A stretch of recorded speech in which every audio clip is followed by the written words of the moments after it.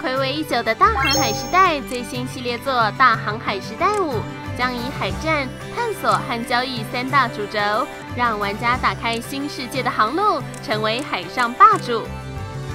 在变化万千的海洋中，强力的队员是不可缺少的。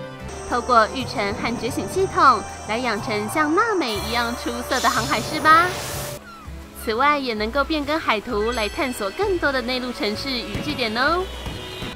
而交易的最高准则，当然就是买低卖高啦。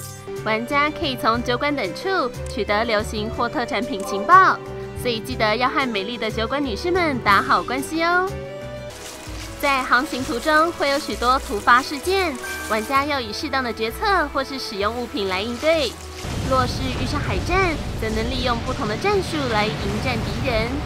所以在出航前就要先做好准备，才能够平安抵达目的地哦。